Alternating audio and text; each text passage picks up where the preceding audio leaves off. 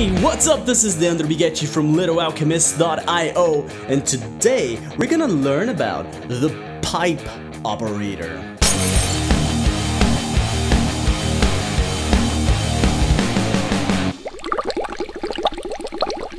So the pipe operator in Elixir, it takes whatever is the output of your function on the left and passes in as the first argument to the function on the right. This means that whatever is coming out of your first function goes into your second function as the first argument. And you can do this multiple times, cascading the pipe operator. And this can improve a lot the readability of your code. Let's see it in action. So let's say I have this string here coming in this variable input, right? The first two are repeated. So what I wanna do is I wanna put everything to lowercase and I want then to make it into a list and remove the duplicates, right? Three steps. So firstly, let's put everything to lowercase and you do this with the string down case. And then pass that into a string split, passing in the comma as the separator.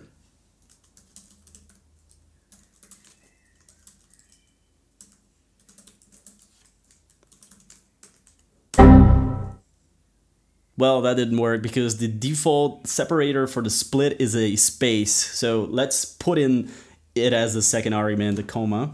So come here and fix this by putting in a comma. All right, fine.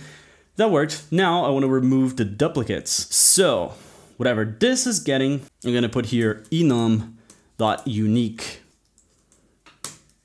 And that gives us what we want to see. However, this line here this isn't very readable, is it? There's a couple of problems with this. Primarily is that you have to go from the left to the right and then come to right to left again inside out and kind of imagining what's coming out of what into where and here for instance when you have comma and other stuff it's it's hard to see what is the argument of what right so let's elixirize this so we're gonna get our input and then downcase it again right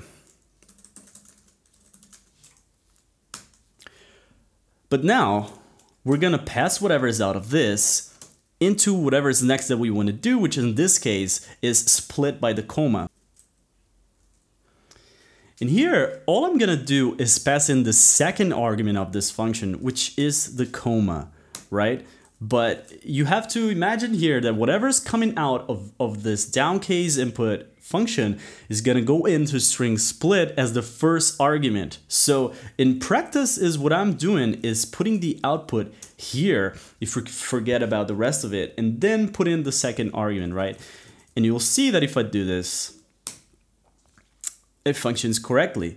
So what we do next is get this output into the enum.unique.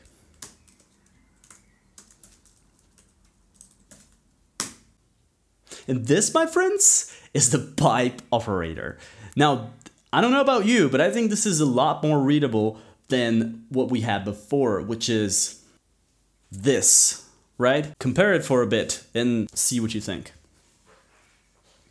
Some best practices to keep in mind is that if you're just gonna do one function call, it probably is not that great of a deal to do piping because you're just doing one thing and piping is more about having a series of things done together, right?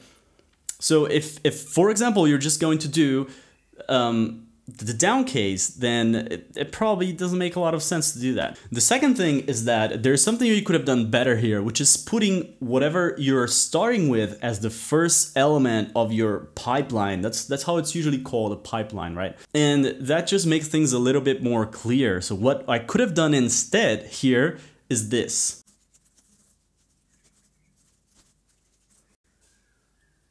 So this version would be a, a bit more of a best practices uh, kind of thing. And I, we're doing this with string, but this is general, uh, generally a good idea to put whatever you're starting with as the first element and then the others are a series of transformation. Another thing you might want to do if you're doing this on a text editor, not here on IEx, is align everything on top of each other. So that's actually looks more like a pipeline. For example, this is what it would look like.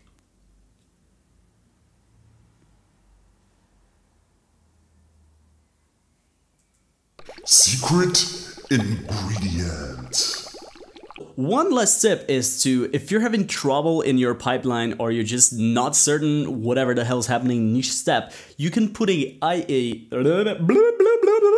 IO inspect in the middle of your pipeline and IO spec is just gonna receive whatever uh, it's coming and pass on to the next one. So it's kind of like a an observer thing in in the middle that you can just put whatever you want. So for example, here we could put in input and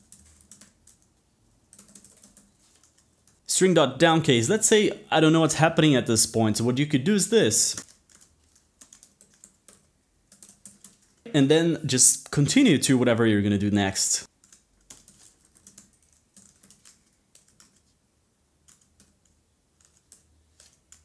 So you're going to see that this line here is the inspect at whatever point it is, in this case, right after the down case function. One thing you can do to make this easier is put a label in the inspect like this. Hi. And then it's gonna say here whatever it is because if you have multiple it can start to get confusing. Alright, that's it for today. I hope you enjoyed. Don't forget to like the video and subscribe to the channel. And until next time, take care and happy brewing.